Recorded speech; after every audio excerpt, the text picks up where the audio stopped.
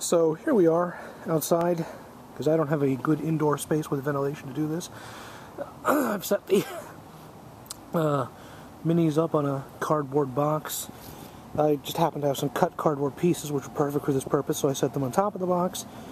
Notice that I give a lot of space before priming.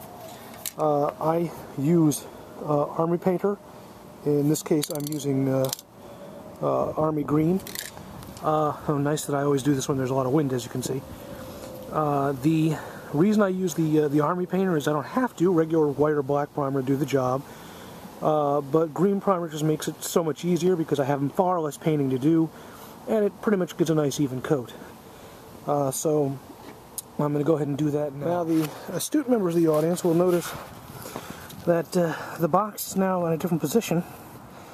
Uh, that's because, quite honestly, I underestimated the wind on this tall box, which, if you look,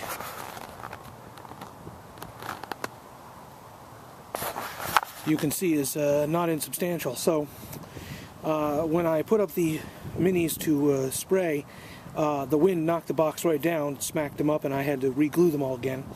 And then uh, when I put those aside and figured I'd do the second ones because it was going to real quick, same thing happened uh, just wheels popping off and such, but it you know cost me a little time. So now I've got it low to the ground, I've got a wind block, and I'm going to spray them. So let's go ahead and do that. All right, here we go. Now, uh, got the can properly shook. I just didn't bother with showing it to you. Notice that I'm uh, moving back and forth fairly quickly to get an even coat. Uh, and I do this from the compass points relative to the Mini give a nice even coating. Sometimes this requires more than one pass, but as you can see it uh, does a pretty decent job.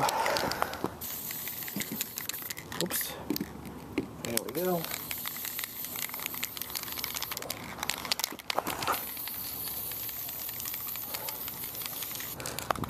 Kind of overdoing it on the Churchill there because it wasn't getting a good call. Make sure to get down uh, at the ground level here. Yeah, this is uh, things, things that aren't supposed to be like the wheels and such, but you know, the goal here is to to have some nicely started minis. Uh, I'm just doing a little walk around here to make sure everything looks good. And as you can see,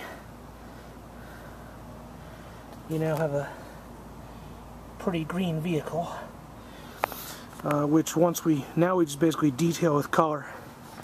And uh, then we do the, the shade and it'll look pretty nice, you'll see. So let's let these dry.